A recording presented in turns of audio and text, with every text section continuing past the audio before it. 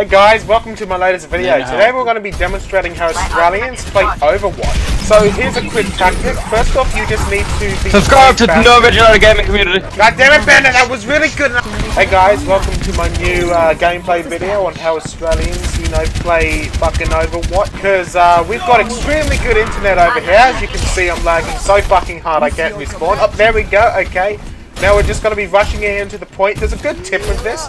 It's just to play Bastion on any character you play, because it doesn't really fucking matter where you aim. It's just not going to happen. you got to have insanely good reaction skills, otherwise it's not going to go plan for you see, it's just, see, it's just not going to go well. Um, aiming is a little bit harder in this mode because everyone just jitters around slightly more than usually. So you got to use uh, overcorrect. You need to overcorrect what you're doing half the time, mainly because if you try to walk in a straight line, you'll still jitter left and fucking right like there's no tomorrow. Good luck trying to do anything important, like play the game seriously, or reloading, that's practically impossible. Um, as you can see, my bullets aren't actually doing anything, so that's a bit unfortunate.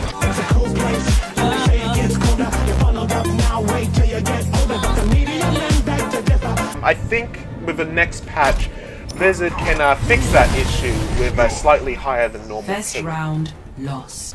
Five, four, three, two, one. So one thing with the countdown timer is just a little bit unsteady. It's like the countdown timer is a little bit drunk and has forgotten how to count. As you can see, um, aiming's just a little bit hard. I'm still able to kill people though, so it's not really that difficult. Yeah, sometimes you just need to reload two times. Um, sometimes four times. Sometimes your bullets just don't even work. But I'm still, I'm still killing people. I've still got the most objective kills, even though uh, uh, slightly higher than normal ping. Okay, now, now this is. See, it's like there's no disadvantage whatsoever on this connection. Clearly. Now, when versing Mei with slightly higher than normal ping, it's kind of impossible. As you can see, um, she killed me from the other side of the objective, and now she appears to be teabagging me, although the camera is lagging so much it can't point to her. I'm going to have to give Telstra an A plus rating on their service, and I don't believe I'm going to be needing the NBN because having 2.4 megabits per second max internet speed, and that's when it's uh, not peak hours is, you know, quite respectable for the average household. I would like to take this time to thank the Australian government, Malcolm Turnbull, for making sure and providing Australians with such fantastic internet. God, I love you, Malcolm!